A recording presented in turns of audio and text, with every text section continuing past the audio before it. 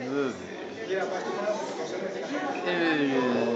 from a ground telescope. And there we see the dark go in like this. Then we zoom out.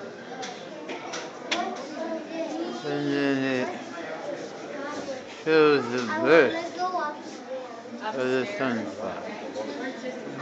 So then we're taking a photograph. Comets go around the sun.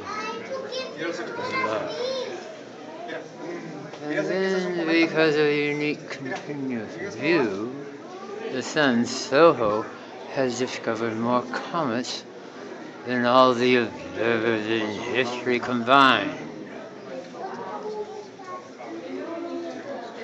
So the sun's gravity, you see, holds in place this SOHO observatory in outer space. And it changes its filter so that it can see the electromagnetic spectrum. Comets go around in elliptical orbits, and all of them are really elliptical. They thought it was circular such a long time ago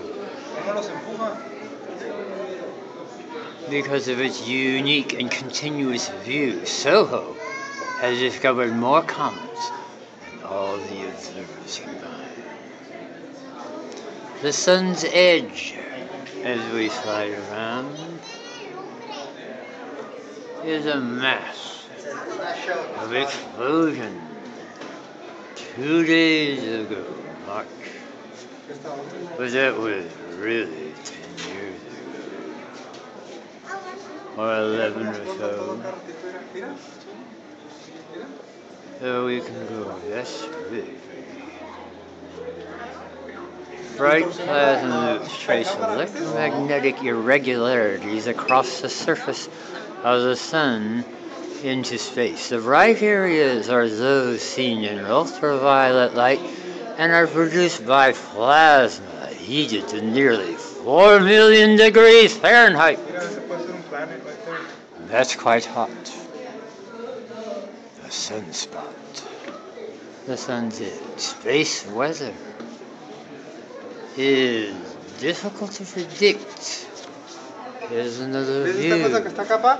of the La bolita sun. esa, la bolita que está allá atrás. Uh-huh. Es un- es The un sun pedazo de turns orgullo. with activity. Sí, ¿no ves cómo in está? this time-lapse movie taken from October 18th to November 7th, 2003. As you can see, a burst. Eruptions from the sun send massive amounts of energy, radiation, and plasma streaming into space. When an eruption occurs on the side of the sun facing the Earth, the resulting radiation can affect profound satellites, communication, and other electrical systems on the Earth.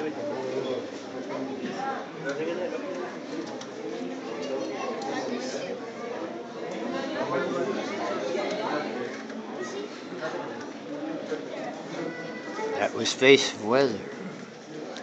Now this is a time-lapse movie of four days, February 16, 19, 2003, of the edge of the sun, NASA's transition region and coronal explorer trace in space. The rising and falling of dark areas are prominent, large streams of gas and plasma cooler than the surrounding surface. They follow the sun's magnetic fields until the lines collapse and the material energy is ejected into space. The sun has more holes than the earth. They churn and they burn. Prominences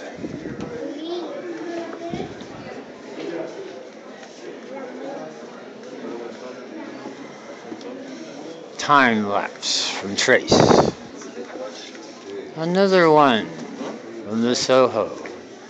The sun is in a period of near maximum activity in this time lapse taken October 21st, 2003. The images are from the Helical Observatory.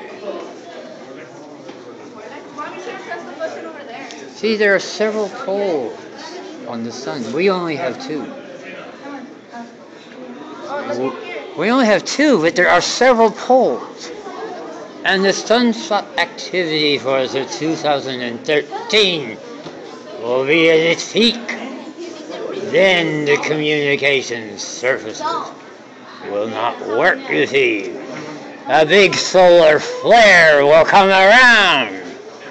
And all the communications, like cell phones, will not work. I'm 58 years old. I've been here so many times.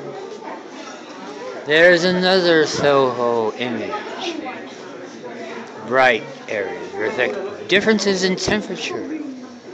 As you can see, the flares in 2013 will cause mass confusion. Didn't you know? No. Well, you don't know your history or your astronomy very well. I'm a member of the Planetary Org. In Pasadena, I was a head engineer there too of the Huntington Memorial Hospital.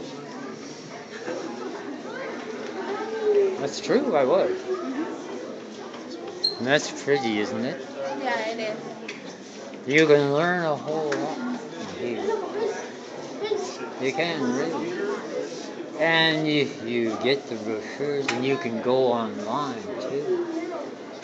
You just do Google, and then you can be here without even going.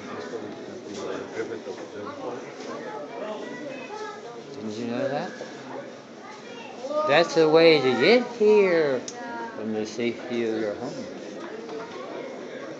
So as we observe the sun out of the spectrohelioscope in a telescope with a hydrogen alpha filter, it's very easy. It's a form of gradical refraction. It's glass. And they have scores in it. Sorry, I'll just turn this off like that.